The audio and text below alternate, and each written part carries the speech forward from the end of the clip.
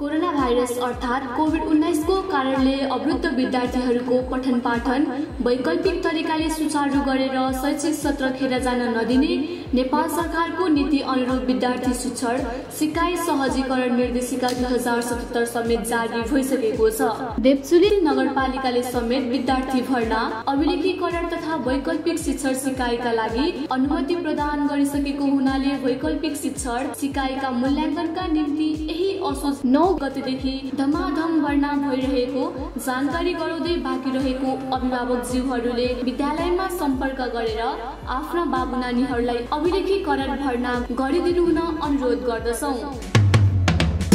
नेपाल सरकार शिक्षा विज्ञान तथा प्रविधि मन्त्रालयको अभिलेख रेकर्डमा संलग्न नभएका र विद्यालयले सञ्चालन गर्ने वैकल्पिक शिक्षण सिकाइ तथा मूल्याङ्कन प्रक्रियामा सहभागी नहुने विद्यार्थीहरूलाई यो शैक्षिक सत्रको अन्त्यमा कक्षा उत्रेर गराउन नसकिने भएको हुनाले आफ्ना बाबु नानीहरूलाई अनिवार्य विद्यालयमा अभिलेखीकरण गरिदिनु हुन अनुरोध गर्दछौँ।